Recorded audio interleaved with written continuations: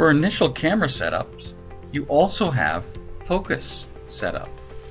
Under Focus Setup, on a varifocal lens, you can select Aid Focus Initialize. This will get the camera ready for its first focus. An initialization is only needed once on the first setup. Simply choose the camera that you're going to start with.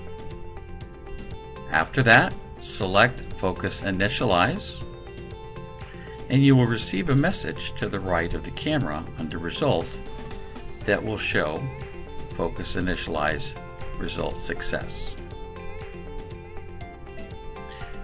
Also, at the completion of a job, you can return to the same location and select Simple Focus. That way, after all of the covers are replaced on your cameras, you ensure that an accurate focus is done to all of your products.